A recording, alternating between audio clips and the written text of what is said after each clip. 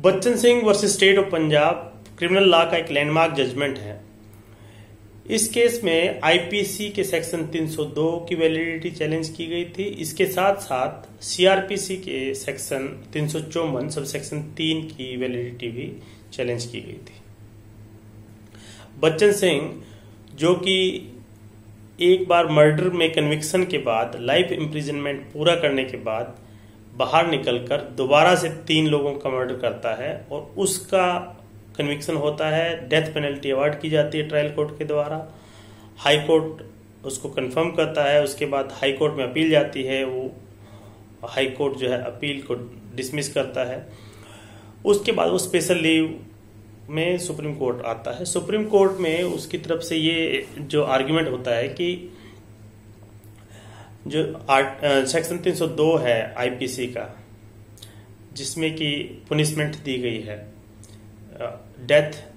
और life imprisonment और उसके बाद सेक्शन 304 सब सेक्शन तीन है जो सीआरपीसी का, उसमें जजमेंट जब लिखते हैं तो उसमें डेथ पेनल्टी के मामले में स्पेशल रीजन और दूसरी जो पनिशमेंट है, उसमें रीजन जो है रिकॉर्ड करने होते हैं। इसमें उनके एडवोकेट का कहना यह होता है कि इस केस में फैक्ट ऐसे नहीं है जो कि स्पेशल रीजन में फॉल करें। इसमें कॉन्स्टिट्यूशन बेंच का जो है हियरिंग होती है पाँच जजेस की, उसमें फोर एस टू वन यानी एक माइनॉरिटी जज एक माइनॉरिटी जज होते हैं और चार मेजोरिटी से कहते हैं कि सेक्शन 302 जो है आईपीसी का तथा सेक्शन तीन सौ चौवन सब सेक्शन तीन सीआरपीसी का, वो कॉन्स्टिट्यूशनली वैलिड है। वो ये भी कहते हैं कि जो पुनिशमेंट है जनरली मर्डर के केसेस में, वो कहते हैं कि life imprisonment is the rule and death penalty is exception और ये भी कहते हैं कि जो डेथ पेनल्टी है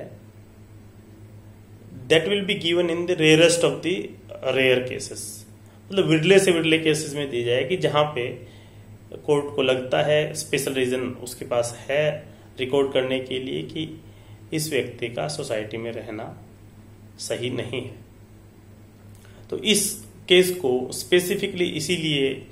जाना जाता है क्योंकि इस केस में डेथ पेनल्टी को कॉन्स्टिट्यूशनली वैलिड करार दिया था। और ये इसलिए भी माना गया था क्योंकि उस समय भी दुनिया के कई देशों में डेथ पेनल्टी को खत्म किया जा रहा था और उस समय भारत के सुप्रीम कोर्ट के जो जजेस ने मेजोरिटी से कहा कि ये एक डेटरेंस के रूप में काम करता है और क्रिमिनल डेथ पेनल्टी के चलते बहुत से जो क्राइम नहीं करते हैं, इसको डेटरेंस फैक्टर के रूप में